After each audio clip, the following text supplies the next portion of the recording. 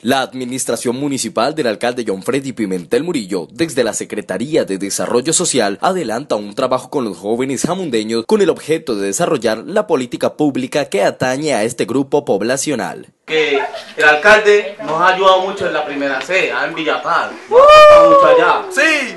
PYME para mí es como una organización que está tratando como de ayudar un poquito al municipio de Jamundí. Eh, me poquito no, que está tratando de, ayudar al municipio de Amundí. Porque cuando ustedes están aquí lo están ayudando, el que el aprovechamiento del tiempo libre sirve demasiado.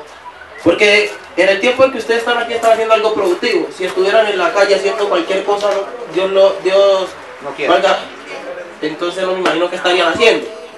Eh, para mí, para definirlo un poco más, PYME es un grupo donde trabaja en pro y el beneficio del pueblo amundeño.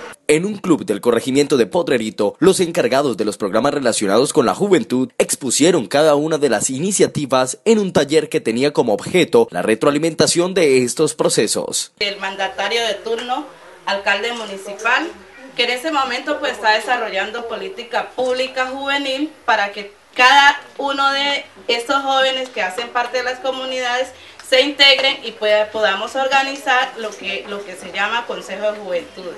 Asimismo, los jóvenes principalmente de Torres de Pime, Villa Paz y Quinamayo pudieron compartir una jornada de recreación e integración como derecho a la misma. El alcalde y que nos ayudan a nosotros, a la fundación Puntopi, que es honor a él, porque nos está colaborando a nosotros los jóvenes.